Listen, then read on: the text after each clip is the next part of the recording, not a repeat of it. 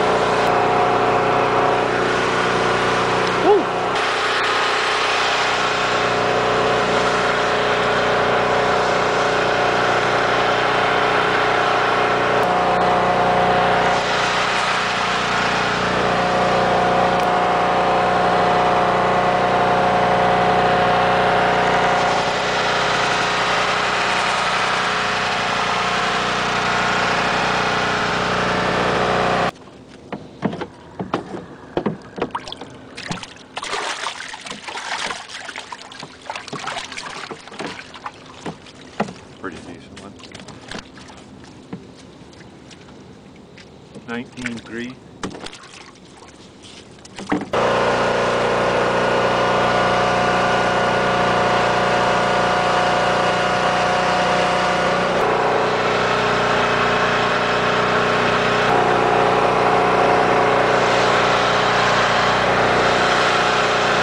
Not a, not a very impressive catch here. We only got four in the last 15 minute station.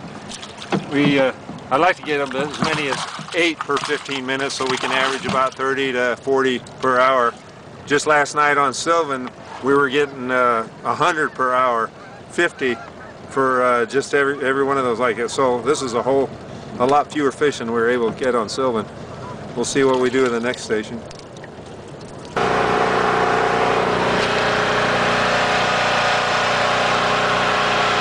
I got the head. Hold the body. Yep. 23.2.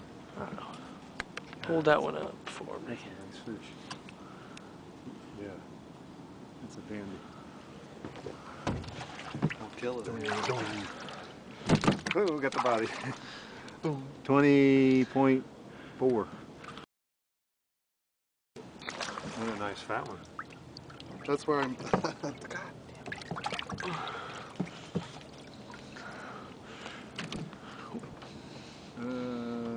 18-0.